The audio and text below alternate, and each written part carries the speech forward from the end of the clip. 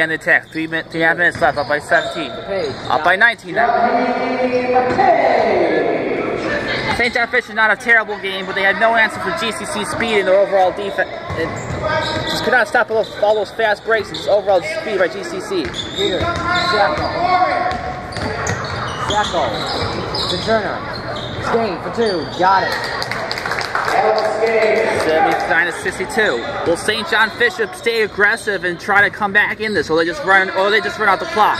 Brandon Peters with the ball right now. High pass to Brian Bob. Bob for three. Bam! Booyah!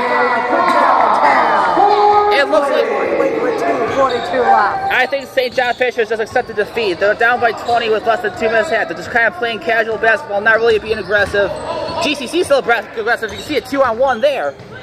And, oh man, Skane almost lost the ball. He has it. And here comes Jared Sullivan. He's got it. But that's not going to stop St. John Fisher from getting the score as close as they can.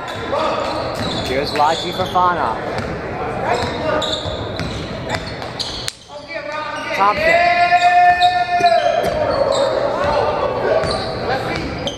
Thompson, two-point range, goes for it. Got it. Beautiful ball.